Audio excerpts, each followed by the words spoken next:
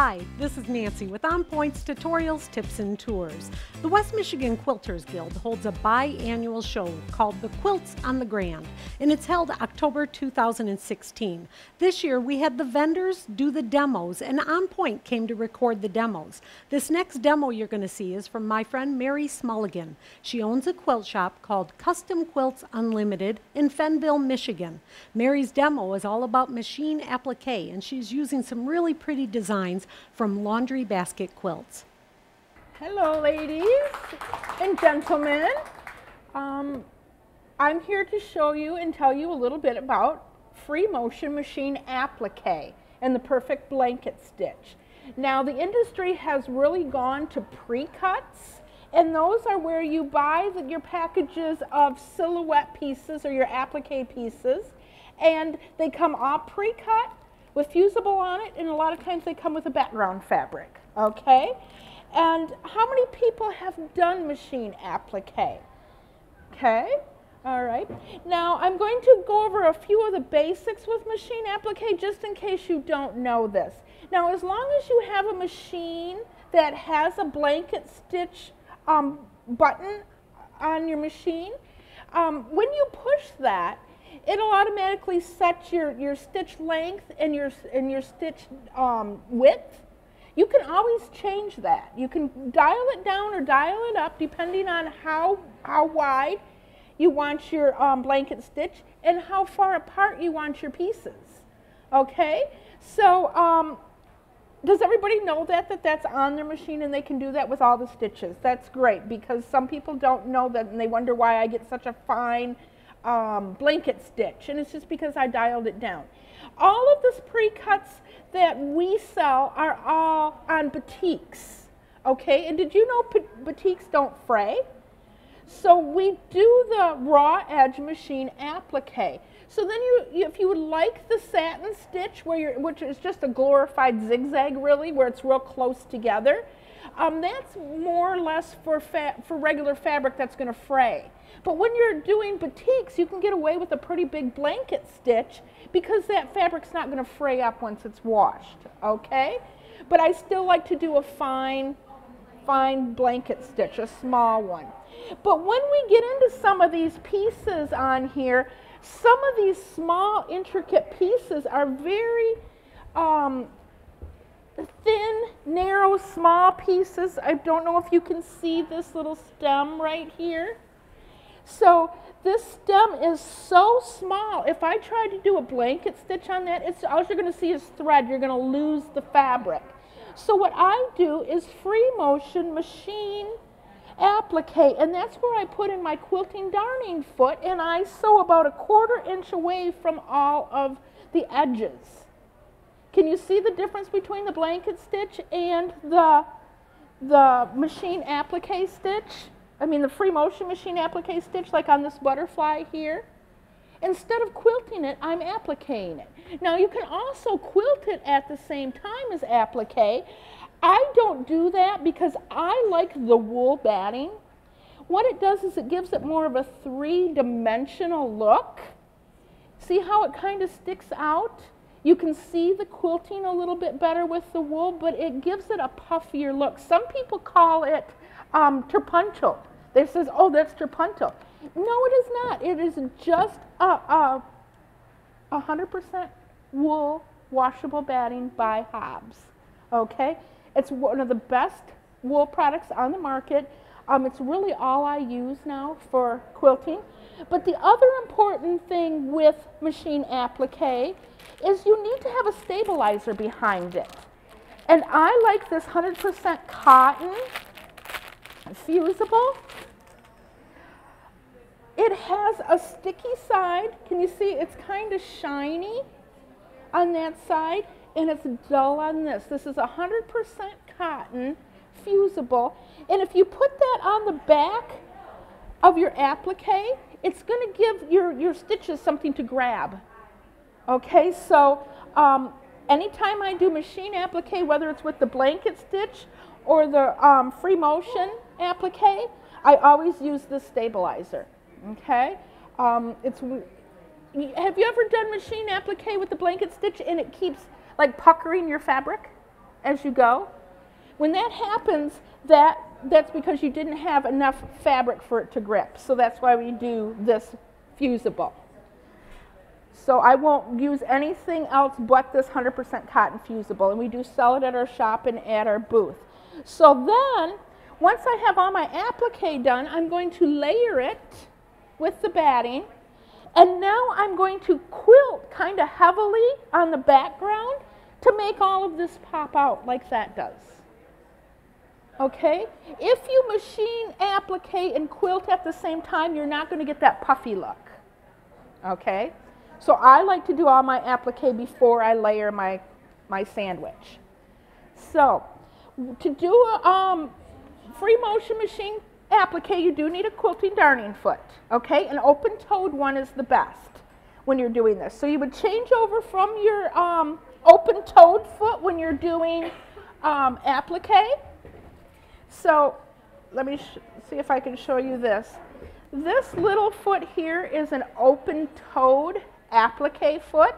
Then let you see where you're going. Okay? Um, that, I think that's very important. If when you're trying to do applique and you can't see where you're going, it's a problem. So get an open-toed foot. But to do the free motion machine applique, we're going to change this, this um, foot here to a quilting darning foot. But instead of quilting, we're going to do free motion machine applique, which makes it very fast. Okay, very fast. Um, we're going to change it over to a straight stitch. Okay, stitch length doesn't matter because we have a quilting darning foot. Okay, so it doesn't matter what's your stitch length at when you're doing free motion, even quilting or or applique. So let's take one of these little circles because circles are hard to do with the, um, with the blanket stitch. And I'm just going to sew close to the edge on here. And it doesn't matter if it's far away. You know, as long as it's about an eighth of an inch or a quarter of an inch, you'll be fine. I'm going to pass some of this stuff around so you can see it. Um, I have I have a blanket stitch on here which is two different sizes, and then I just did a free motion machine applique here. And when you get these little bird's nests, do you get these when you start with your free motion machine quilting? I just cut those off, but if you hold your bobbin thread and your top thread and pull your bobbin thread up, you won't have that, but I just cut them off. So Nancy's going to show this around a little bit, and you can take this one too, Nancy, if you'd like. And then that way You'll see the difference and see the finished product. So the main thing with when you're doing your blanket stitch and you keep skipping stitches, okay, when it skips stitches and it doesn't look nice, and you'll probably find some of that on there. What I like to do is take the silicone spray, which is for sewing, okay? Um, some of my tips are on the can, and what it does is you spray your fingers with this and rub your needle.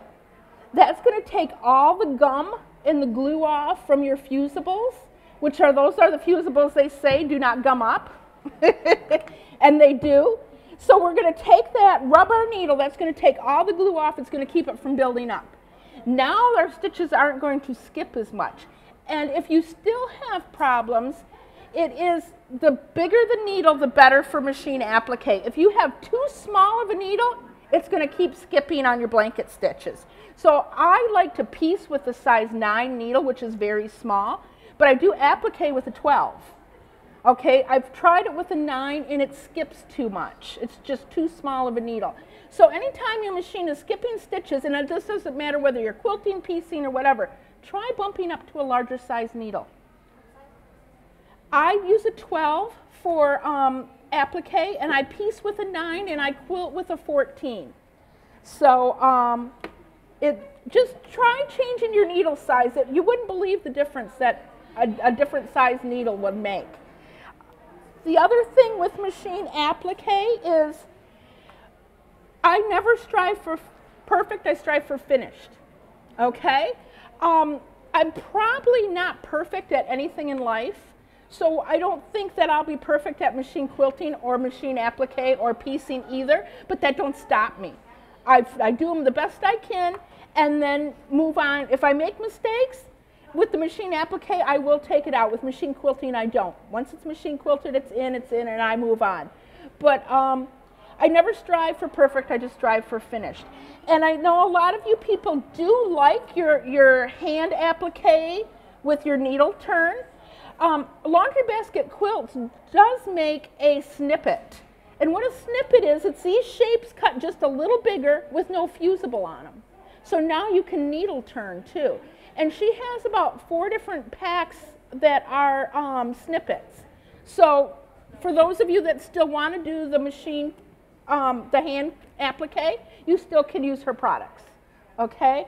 Um, Edyta Sitar is the designer of these quilts um, from Laundry Basket Quilts. She is actually from Poland, but she lived in Michigan for about 20 years.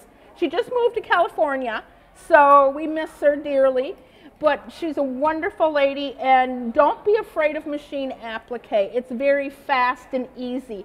These little ones that I'm um, passing around, they're $30, your background fabric and your pre-cuts, and you can probably get one of these done in four to six hours. That's completely with binding and everything. And they also make wonderful gifts, okay? She has about 250 patterns and we have silhouettes for 75% of them okay? So um, don't be afraid of machine applique. It works very well. Um, just, just go ahead and just do it. Don't worry about being perfect, ladies, okay? Don't be afraid of those pre-cuts. They're very, they're very fun. So uh, thank you for joining me today, and I hope you all enjoy the show. I hope you try that technique from Mary. Using those pre-cut applique designs makes a project really easy.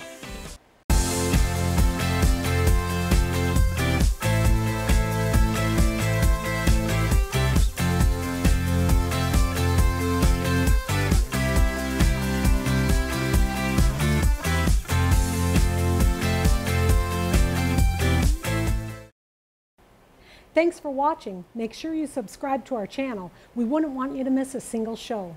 Please share us with your friends and leave a comment. We would really love to hear from you.